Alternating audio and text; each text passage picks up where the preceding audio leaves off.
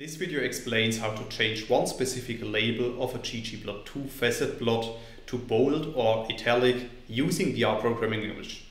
So without much talk, let's dive into the R code. In this video I will show you an example and for this example we first need to create a data frame as you can see in lines 2 to 4 of the code. So after running these lines of code a new data frame called data is appearing at the top right and we can print this data frame to the bottom in the RStudio console by running line 5 and then you can see that we have created a data frame containing six rows. This data frame contains three columns whereby the first two columns x and y contain numeric values and the third column is a group indicator. Now, if we want to draw these data in a ggplot2 facet plot, we also need to install and load the ggplot2 package, as you can see in lines 7 and 8 of the code. I have installed the package already, so for that reason I'm just going to load it with line 8. And then in the next step, we could draw a ggplot2 facet plot using the ggplot, geom_point, and facet grid functions, as you can see in lines 10 to 12. So after running these lines of code, a new ggplot2 facet plot is appearing at the bottom right. And as you can see, the labels of these facets are currently not bold and not italic. Now let's assume that we want to change only one of these labels to bold.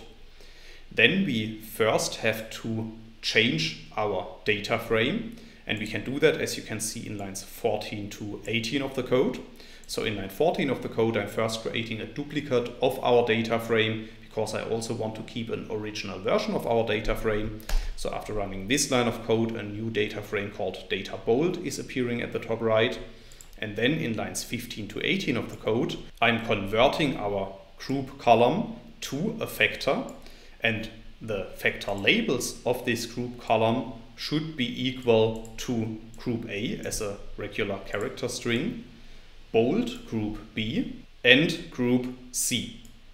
So after running lines 14 to 18 of the code, our new data set data bold is created and we can print this data frame below at the bottom in the console of RStudio by running line 19 of the code. And then you can see that the columns X and Y contain the same values as before. However, the group B is changed to bold group B.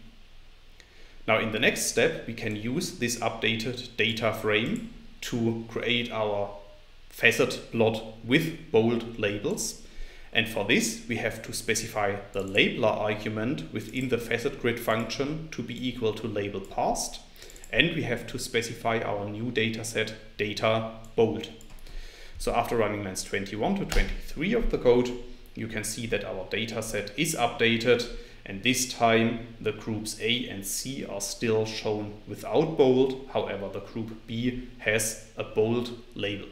So in this first example I have explained how to change one of the labels in a ggplot2 facet plot to bold.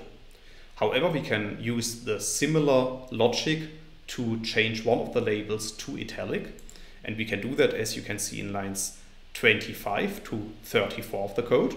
So in lines 25 to 29, I'm once again creating a new data set, which I'm calling data italic.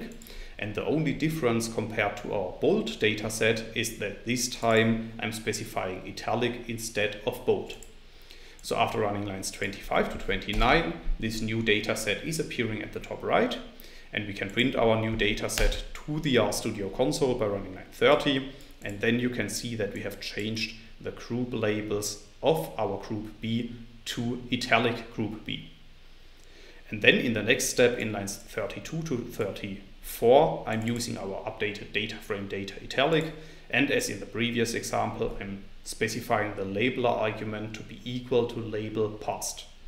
So after running these lines of code, our plot is updated once again. And as you can see, only the group label group B has been changed to italic. That's all I wanted to explain in this video. In case you want to learn more on this topic, you may check out my homepage, statisticsglobe.com, because on my homepage I have recently published a tutorial in which I'm explaining the content of this video in some more detail.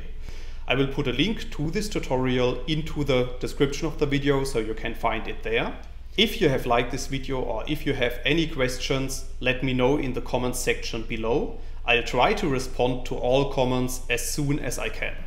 Furthermore, make sure to subscribe to my YouTube channel to get notified about future video releases. I have already published about 500 videos on this channel and I'm releasing new videos on a daily basis. Thanks a lot for watching, see you in the next video.